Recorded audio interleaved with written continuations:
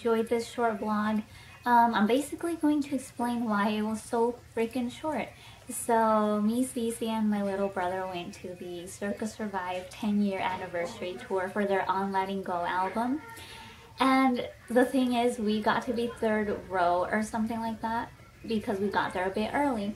But then this security guy that wasn't even there at first came and he saw Cece holding this camera. He literally launched himself over people and like blocked it and told her that she wasn't allowed to do that. And like I looked over at her like, oh my god, dude, like what are you doing? And like I saw that he met the camera and I'm like, really? Like this isn't even that much of a professional camera. I've recorded at other venues with this and no one has ever like gave me shit for it.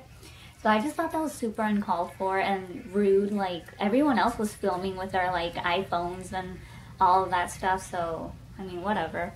But um, then these other guys, such assholes as well, they like were pushing people. They weren't even near a mosh pit. They weren't even moshing. They were literally just like pushing people and being rude to people and like cussing at this girl that like decided to tell him something.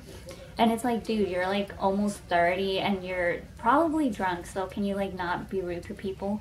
I just think that yeah, those things are gonna happen at shows and whatever, but I don't see why you need to be rude, you know? Um, other than that, Turnover was freaking amazing. mewithoutYou was amazing as well, and Circa. I, I can't. we actually saw Anthony Green before um, the show. We drove around the back and we saw him sitting there with other band members, but um, we kind of didn't want to be rude and like, you know, bother them. But now I'm, I'm kind of like, oh my gosh, like I would have met him, you know?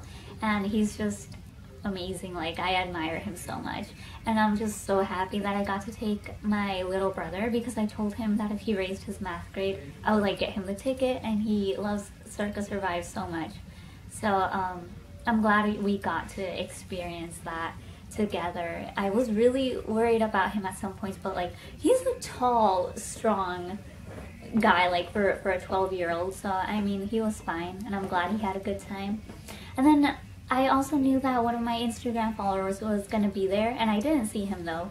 Um, but yeah. And I also got to meet one of my friends um, Irving. He's wonderful. We got to chat for a while um, after the show. Um, wonderful soul.